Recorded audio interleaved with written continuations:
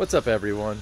Today we're going to be looking at Elder Scrolls Online on the Steam Deck using the non-Steam Bethesda launcher version. I'm going to show you exactly how to set it up from start to finish and some tips and tricks after the install. So let's get into it.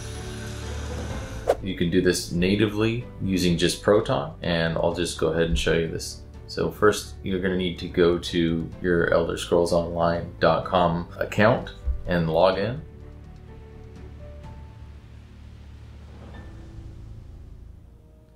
Uh, once we're in our account, we're going to go download game.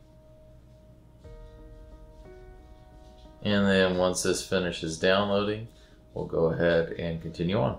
Alright, so once you have that, it's going to be, should be in your downloads folder called install eso.exe. And then you're just going to need to open up Steam and go to uh, the top where it says games and then go to add a non-Steam game to my library and we're going to click on browse and we're just going to go to that downloads folder double click on install ESO and go ahead and say add selected programs and then once that's in I gotta see if I can even find it.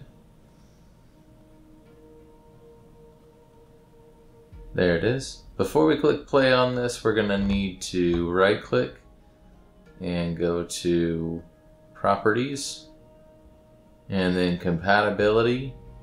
And then you need to check force the use of a specific Steam Play compatibility tool. And I would just change this to whatever Proton stable is the latest below experimental and if that doesn't work for some reason I would just go to the next one below that or check protondb.com for whatever update you need to use that's all you need to do here.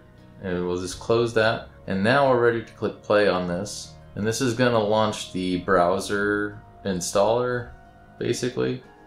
And it's important to launch this in desktop mode, otherwise sometimes it's hard to click this uh, OK button.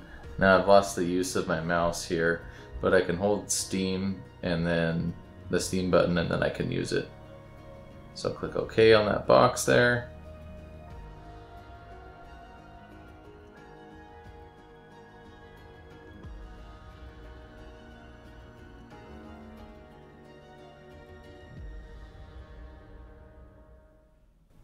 All right.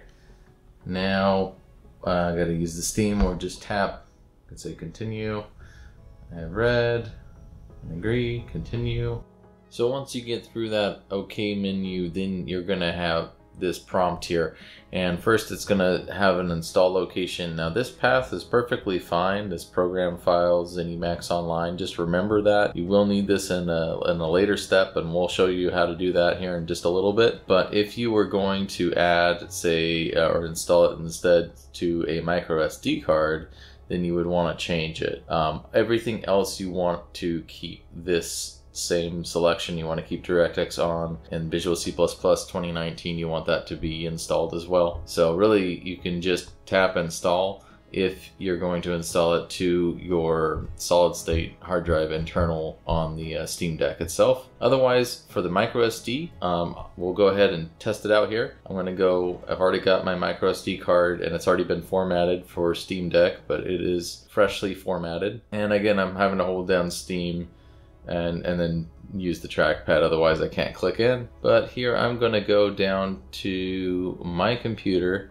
and then this D drive here. And then inside this D drive, uh, this should be your micro SD. So I'm gonna say make new folder and we'll just call this ESO. Okay. And then we'll just say okay to that. And it got 98 gig required. So this is a very hefty download. So if you didn't know that uh, going in, you might consider putting it on a micro SD. All right, let's go ahead and install it. And now it's just going to go through its normal installation process. This is going to take a very long time, um, even on a good internet connection. I mean, 90 gig is not small.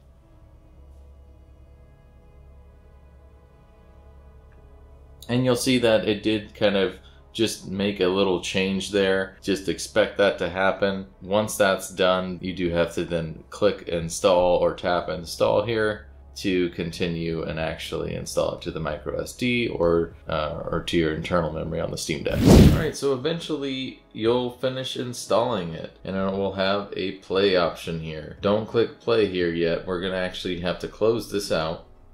And then what we need to do here is we need to add the actual Bethesda launcher. So we go to add a new non-Steam game and then browse. And in this case, we're going to go to our home directory.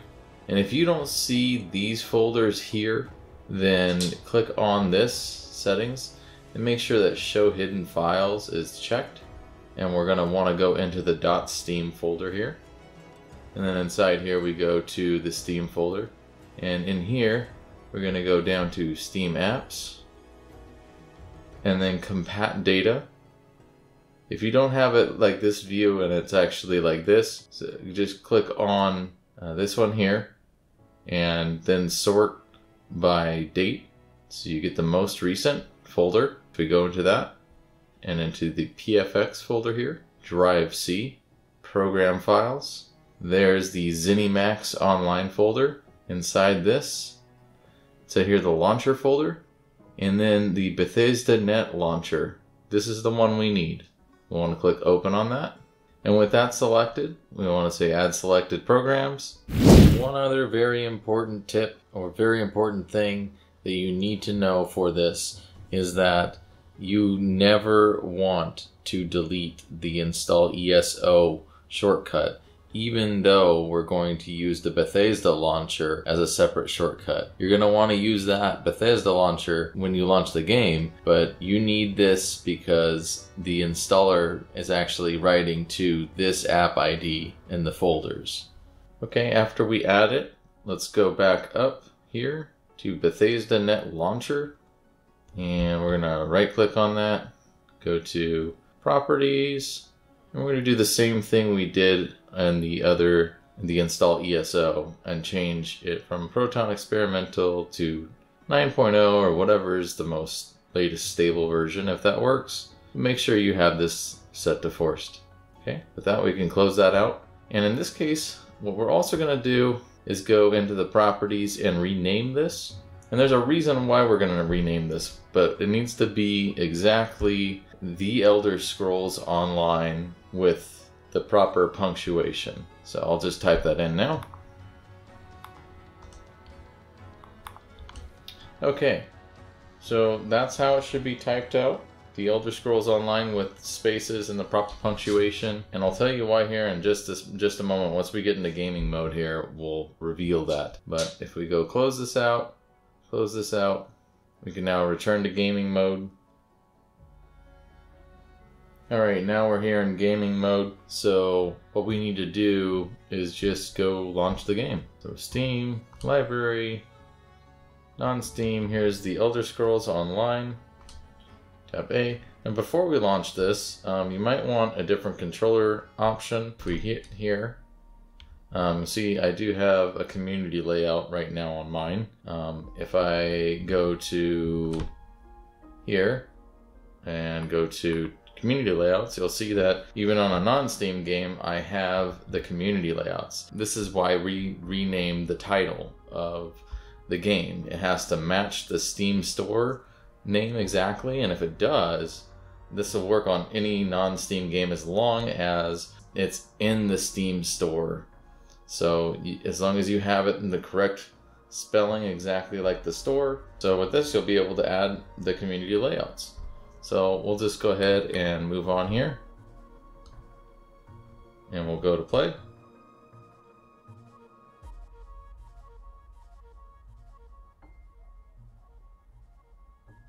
So here we have booted it up. Booted it up. Sometimes I have to either tap or just hold Steam and then click.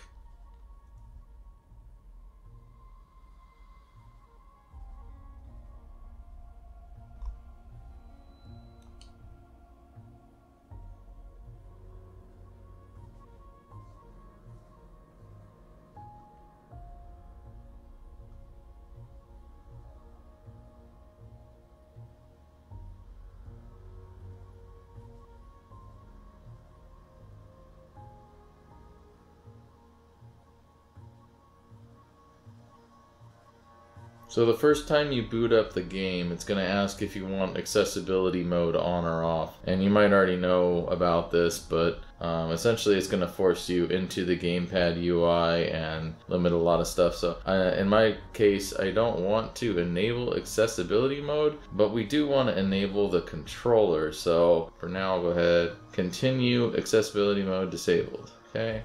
And then I gotta adjust the brightness. It Should be a little brighter. Okay server select, all the normal setup stuff here. So I'm just going to fast forward through this. Okay, now before I log in, there is one thing to note on this, and that is, I'm going to zoom in here. If you'll look at the FPS counter, you'll see we're just idling here, but every few 5 to 10 seconds, you're going to see a blip like that. You're even going to see everything freeze. And so the fix for this is to actually just go and press the Steam button. And there's a ZeniMax on the launcher itself, and that's staying hidden behind this window. That's what's causing it to lock up. So we just press X to close the window. And we give it a second here. There it goes. And we go into resume game. And now you'll see that there are no more spikes. So that's a big tip because otherwise you're gonna really hate this game. You really need that fix. uh, otherwise it's gonna stutter like every five to 10 seconds. Alright, so now I'll just go ahead and log in with my account. Okay, so now uh, I've got it logged in. Now I had to use the Steam and the trackpad at the same time to click on things. And then sometimes the Steam keyboard didn't want to come up uh, when I was putting in my password, but it was fine for the username. So what I had to do was just press the Steam button and bring up this, and then I was able to bring up the Steam uh, keyboard again. So you might have to just do that Steam button and then Steam keyboard to get that to work. So hopefully I put in the password correctly the first time. Let's see if I get in. There we go. Now it's going to start this whole thing. We're going to skip the cutscene there. Alright, so now we're booted in. We'll go ahead and select country. This text is incredibly small. Unfortunately, it's a little hard to read it oh, this far away. When I'm playing it and I'm a little closer, it's a different story. Alright, so uh, the setting for controller isn't until we actually get into the game. Again, uh, you you know you can create character here and go through the whole thing, uh, and you could just type in your name here as well. So you don't necessarily need a keyboard. It's just a little handier to get around and get this set up. All right, so now I'll just go ahead and log in. And just to let you know, the load times on this are, are just a little longer, especially at the, the beginning when it was building the shader cache the first time. So it's a little faster to get into the game the second time around. Alright, so an issue that you're going to have when you boot up for the first time after getting through all the menus and creating your character or choosing your character is that maybe your trackpads will work, but nothing else is really going to work. So we need to just turn on gamepad mode, and how you do that is you need to press escape, and with the Steam Deck hotkey, it is Steam and then left arrow and that's going to bring up your menu here. And again I'll need to hold down steam as I'm clicking here. So we're going to go into settings and then gameplay and then if you scroll down you have gamepad mode. This is going to be turned off on any new installs. So we just flip that on and now I've got full controller support um, with Steam input and I'm just using these this custom community template. This game seems to run pretty well uh, if you just set it to like 45 FPS. This is the Steam Deck OLED and I'm on charged right now but unplug here. You know it's it's really not you could run it high no problem and then I can just show you real quick the settings I have and go to options and video so we've got Graphics are on high, textures high, FSR is off. Definitely turn FSR off because this game doesn't seem to allow you to downsize the resolution in your windowed mode, so you can't actually turn F FSR on. So when you do, it just results in a blurrier image. So you can leave that off and you can leave this on full screen, windowed, or just plain full screen. Either one is fine. So now that you have this all set up, the last thing maybe is to just add the artwork to make it look like the Steam version. An easy way to do this instead of having to go the manual route is use the Discover store and look for Boop. So Boop, B-O-O-P.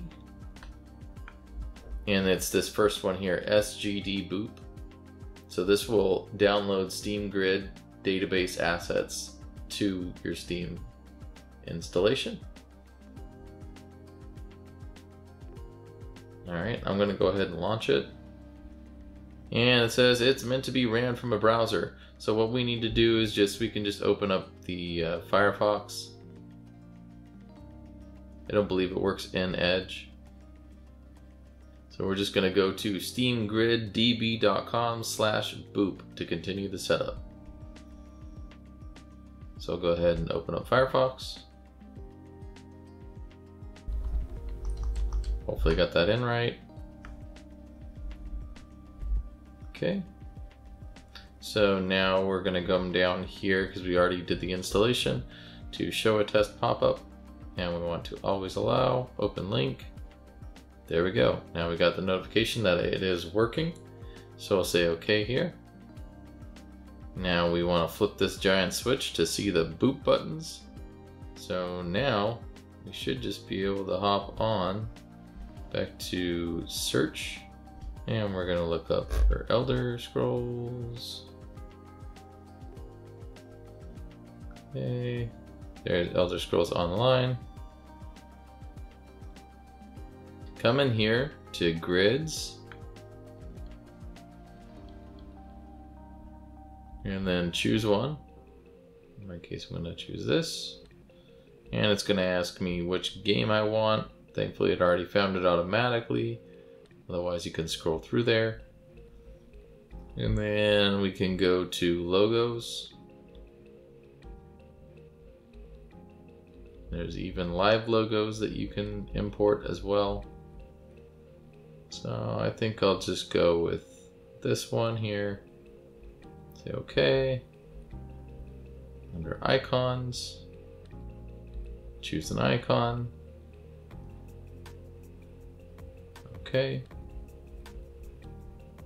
Heroes.